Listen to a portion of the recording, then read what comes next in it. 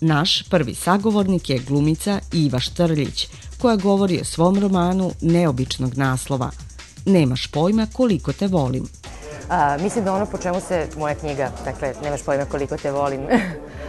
zaista ističe.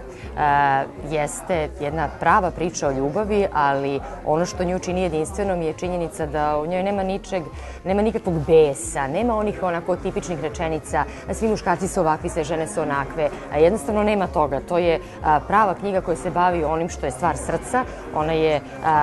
tako kažu čitaoci, jako duhovita, i, ovaj, a u isto vreme i dirljiva i mislim da je upravo iz tog razloga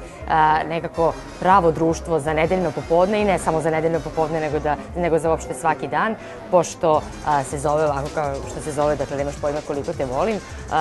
ona jako dobro dođe i kao poklon nekome kome to možda do sada niste rekli, a želeli biste da mu kažete ili niste znali kako da mu kažete, pa ste odlučili da to mojom knjigom upravo i uradite. Ono što mene posebno raduje je činjenica da ona već doživela evo svoje treće izdanje, što znači da se čitavcima ona dopada, da se oni u njoj pronalaze i ono što mene ljudi obično pitaju a, ovaj, a, kada govorimo o svojoj knjizi je to da li će ljudi tu moći da nađu, a, da pronađu neke poznate ličnosti, neke ljude tako iz tog javnog života. Ja im odmah kažem da neće, zato što moja namera nije bila to, ali ono što je mnogo važnije od toga je to da će u ovoj knjizi sigurno svi pronaći sami sebe što mislim da je zaista puno značajnije od pronalaženja bilo koga drugog. Ja sam od uvek volila da pišem, kao devojčica sam pisala pesme i sada nekako kad pročitam te pesme, one su mi strašno duhovite zato što ovaj,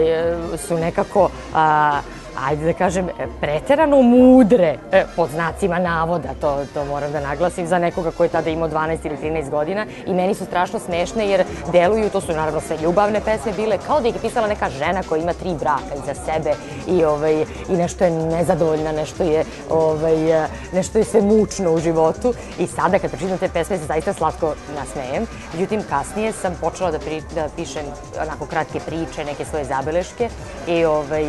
odlučila sam sam počnem da pišem knjigu onda kada sam shvatila da to što a, pišem i čitam svojim prijateljima i svojim poznanicima ovaj, a, jeste nešto da se njima jako dopada i a, nešto što je blisko a, mom životu ili blisko i životu onih a, koji te priče čitaju i zato sam odlučila da sve čitaoce obradujem svojom knjigom i oni su mi uzvratili činjenicom da je ovaj, čitaju i da ih ona jako raduje. Stalno dobijem pisma čitaoce na ovaj, mailom dobijem pisma e, gde oni kažu kako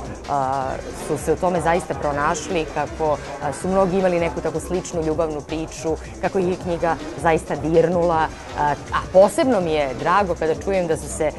neki pomirili zahvaljujući moje knjizi. Jedna devojka je baš javila Laguni kako se posveđala sa dečkom i onda je, ne znam, on ne znam šta sve uradio, između ostalog kupio je i ovaj, moju knjigu da bi joj rekao koliko je vodi. Iako ta knjiga na bilo koji način može da popravi svet, eto, u nekom tom, e,